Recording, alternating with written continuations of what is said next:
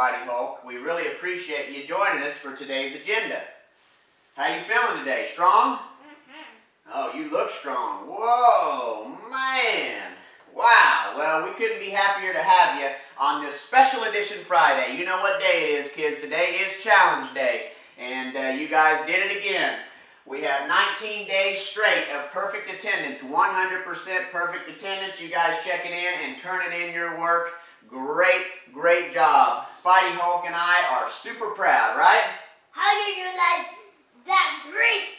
We're going to get to that drink because remember, today is the challenge and uh, we're going to go over your agenda for today and then we'll get into the special edition, the main event of this video right after we go over our assignment. So let's go ahead and get started so we can get with that, right? Did, did you like that? Well, we don't want to spoil the surprise. No spoilers yet, all right?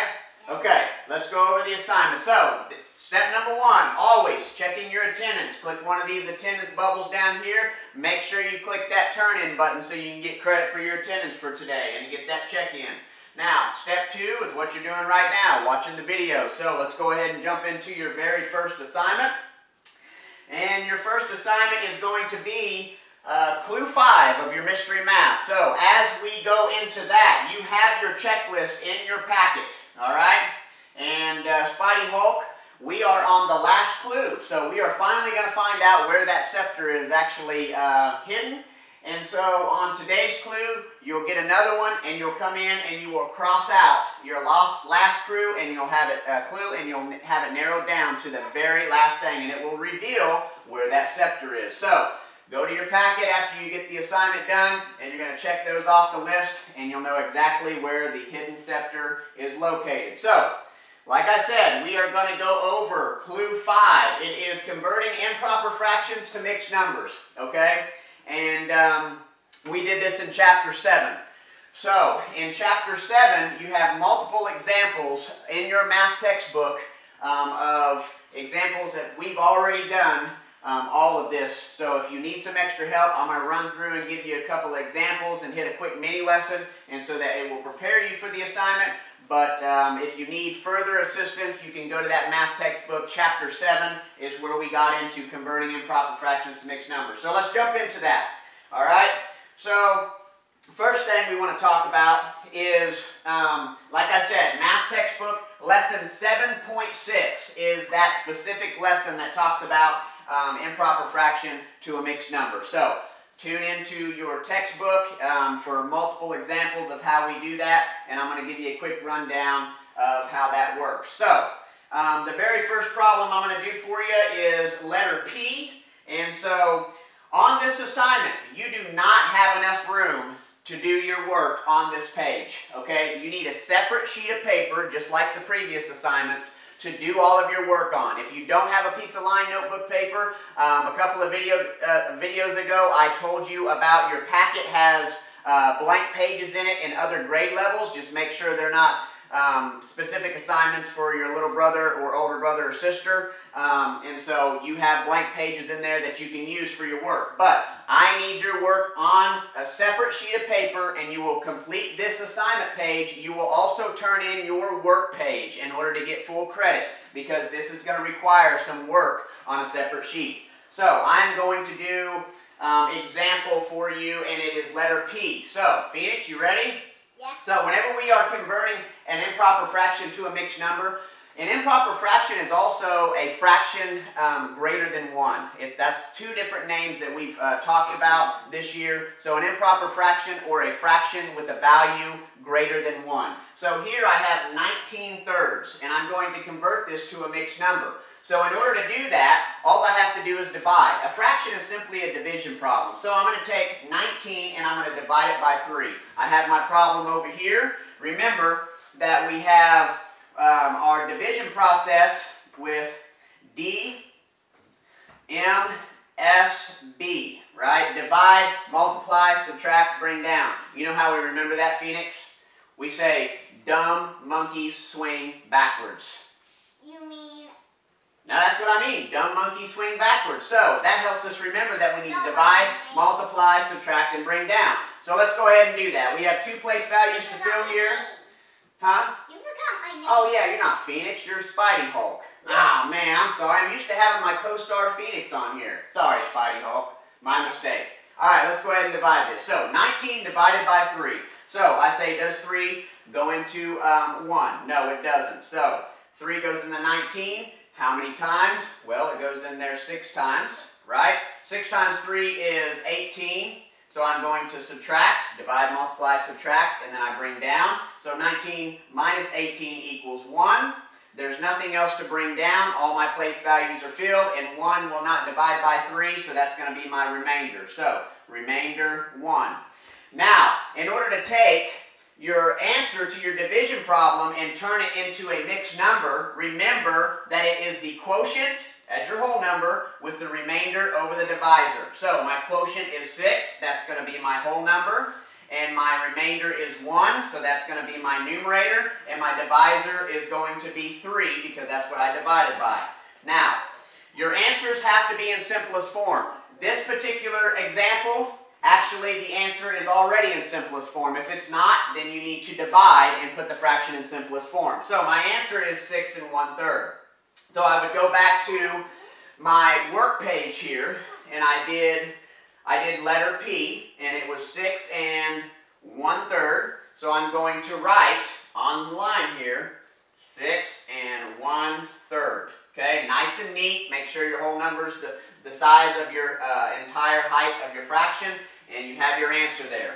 So, like I said, work on one page, Put your answer on this page, go to your clue, fill in your letters, put the P everywhere you see the answer 6 and 1 third, okay? That one was pretty easy because it ended up being in simplest form anyway. I'm going to go ahead and do another example for you. This is example E. And on your work page, I need you to label your, each one of your problems with the letter that it represents so I can see what problems go with, with what letter on your page. Everything matches up, just like we've done on the previous assignments. So I'm going to take 18 divided by 8, right? Yeah. Phoenix? So I have that set up right here. I have two place values. Well, I did it again, didn't I? Sorry. I'm just so used to having my co-star here. and But I do appreciate you filling in, Spidey Hulk. Okay? All right. So 18 divided by 8. 8 goes into 1. No, it does not. 8 goes into 18. Guess how many times, Phoenix, uh, Spidey Hulk? 8 goes into 18 two times, right? 2 times 8 is 16. I subtract, and I have 2 left over. Remember, dumb monkey swing backwards. Divide, multiply, subtract, bring down. I don't have anything to bring down. All my place values are filled in. So therefore, 2 will not divide by 8. That's going to be my remainder. Okay? Remainder 2. So 2 remainder 2. Now, to put this quotient into a mixed number, remember, quotient is your whole number, right? Right here, with the remainder over the divisor. That's how you write your mixed number. So I have a 2 as my whole number. I have my remainder is 2. Okay? And then my divisor is 8.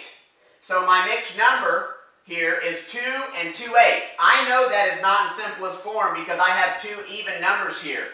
And 8 will divide by 2. So to get this in simplest form, I can go ahead and write my whole number down because that's not going to change. But I'm going to divide this 2 by 2, and I'm going to divide this 8 by 2 in order to put it in simplest form. So 2 divided by 2, guess what, Phoenix, is 1. Ah! I keep doing it. Now I'm doing it on purpose. Sorry. He's not really Phoenix. He's Spidey Hulk. So, 2 divided by 2 equals 1.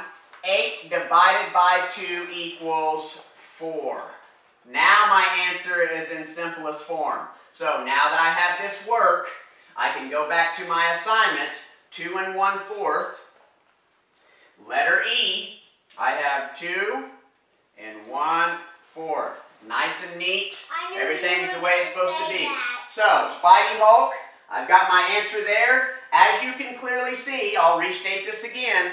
You cannot do all of this work on this page. You need a separate sheet of paper for your work and you need to turn that in with this assignment, okay? So, I've given you two examples, two answers to this, and then you'll know the final clue of where the missing scepter is, right? I knew it, you were going to do it on purpose. I'm sorry, Spidey Hulk. All right, so let's get to the last assignment for today, yes. all right?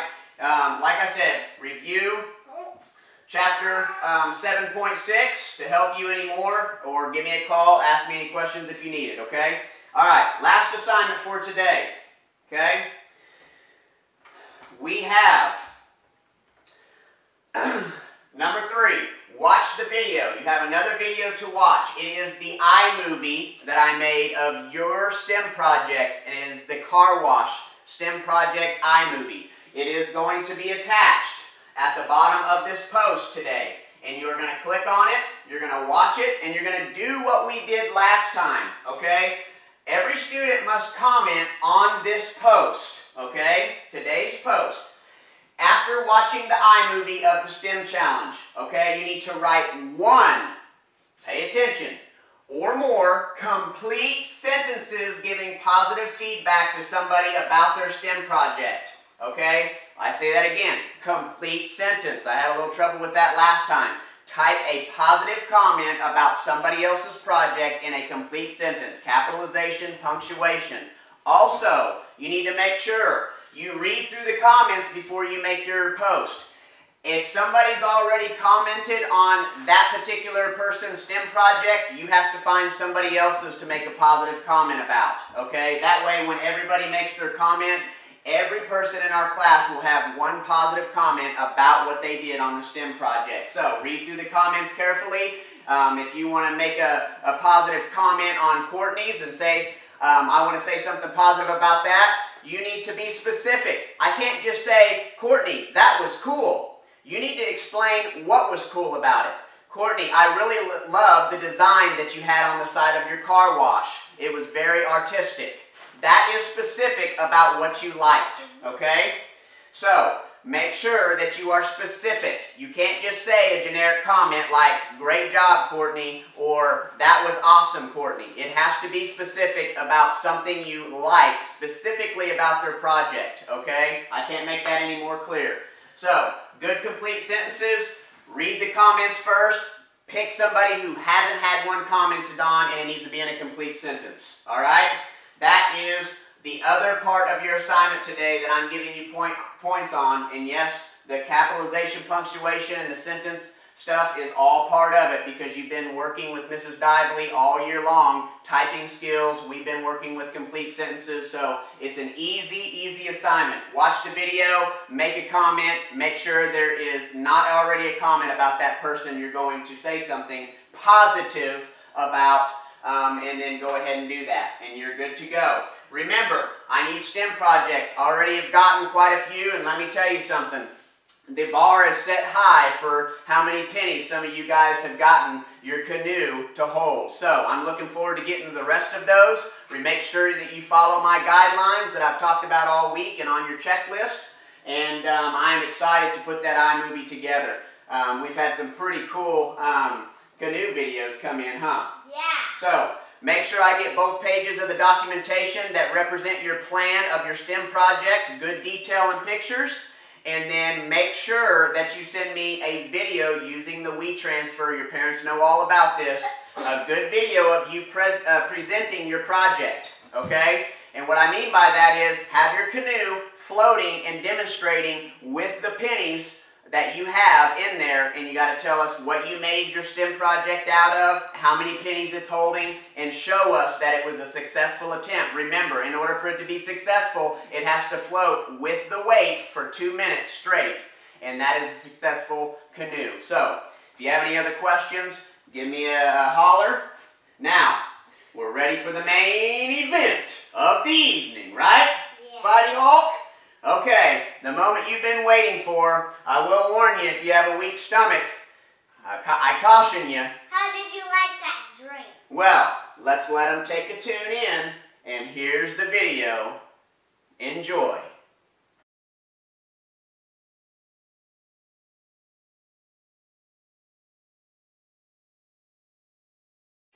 What's going on guys? Welcome back to another video.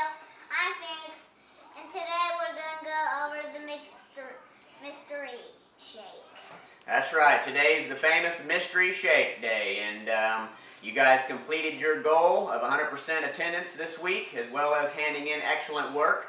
We appreciate all that hard work. I do. Um, a whole bunch. And that's why I'm going through this misery for you and your entertainment and to support all of your efforts. So, Phoenix, how about we go over the ingredients for this uh, famous mystery shake? What do we got? We got some carrots. We got some um, pickles. We got eggs. We got orange juice. We got hot sauce. We got lemon juice. We got um, some peanut butter. And we got some chocolate. And then we'll add a little bit of water for some uh, consistency and hopefully a little, make it a little easier to get it down, if I get it down. And so um, I guess we're ready to start making this shake, right? What do you want to put in there first, bud? The eggs. All right, so go ahead, go over there, and start dropping those eggs in there. They feel so bouncy, like a bouncy ball. That's all right, pick it up and throw it in there. Gotta have that yolk in there, that's extra protein. And now, Uh, And the pickles, great. then carrot. And carrots, okay.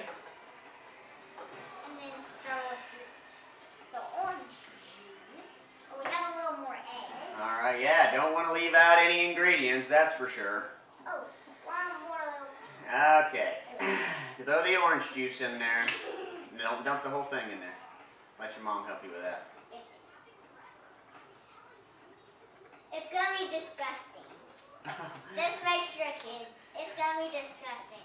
My dad's probably gonna throw up. I'm gonna try to hold it down until we can at least hit the uh, the record button on uh, the camera and end this presentation here. So, all right, now we're adding uh, the peanut butter. All right, that's ought to add some great flavor. Great. Can't do it without chocolate syrup. I've done this before. Uh, It's gonna be probably yucky. lemon juice. Yummy and sour.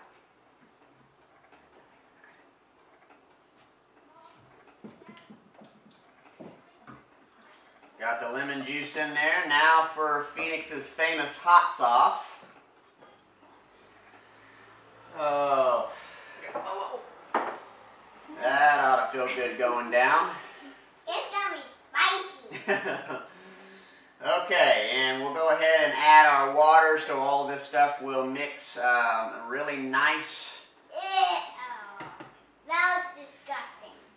Okay, we're ready for the blender, so we're going to go ahead and blend this uh, delicious mystery shake up, and we will be back in just a second. And the mystery shake is complete and ready to go. So. It kind of smells like peanut butter. uh, it smells like a lot of things, and it's not uh, very good things. So, um, here it is.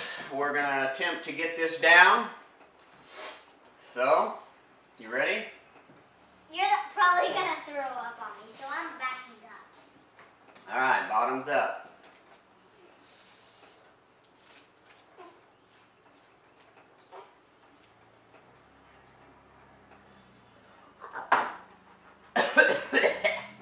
oh, oh, Get some milk. woo! Get some milk. That's definitely the absolute worst shake I've ever had in my life, Phoenix. I believe your cooking career, it stops right now. All right?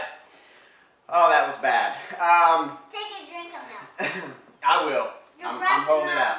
So, Your breath smells like peanut butter. hopefully you guys, I think my breath's going to be smelling pretty bad for the next couple of days. But, like I said, um, anything to motivate you guys to continue to stay on track. I can't thank you enough for all your hard work and dedication. Um, let's continue to build off of that. You know my motto, keep getting bigger and stronger every single week. And so keep putting that hard work in, um, and I couldn't appreciate it anymore. We're going to really end this year um, with uh, um, the best possible year we can have, and uh, I can't thank you guys enough. So thank you for all your hard work. I need to go ahead and cut this video off um, before something happens. So Phoenix, thanks for the mystery shake. Kids, we'll see you next time. Bye. How was that? Oh man, that was horrible. I tell you what, Spidey Hulk, that Phoenix makes a horrible shake. I, I tell you what, that's probably the nastiest thing I've ever actually um, drank. And I'm really surprised that I didn't throw up all over Phoenix.